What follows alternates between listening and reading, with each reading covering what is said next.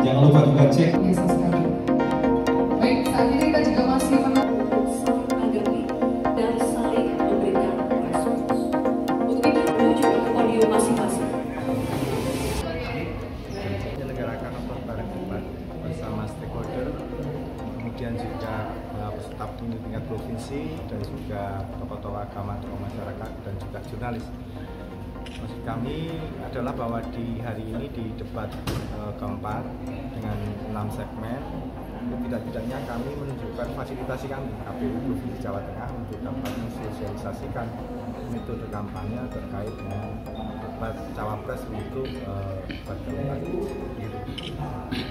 Mungkin untuk ini kan mulai kampanye terbuka, teknisnya sudah.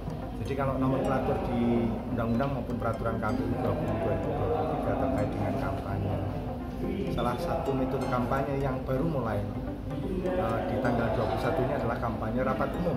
Mungkin kalau disebut terbuka boleh lah, tetapi nomenklaturnya adalah kampanye rapat umum yang mungkin populer di masyarakat. Nah, untuk di Jawa Tengah, kami telah menerbitkan keputusan KPU Provinsi Jawa Tengah untuk mengatur jadwalnya.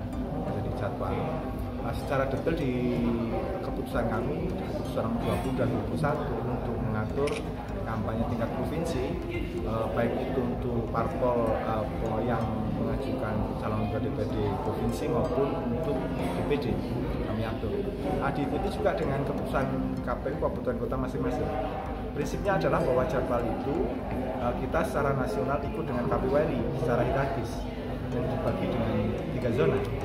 Kalau bisa disebutkan kita masuk di zona A. Ikuti terus update terbaru dari sosial media Tribun Jateng.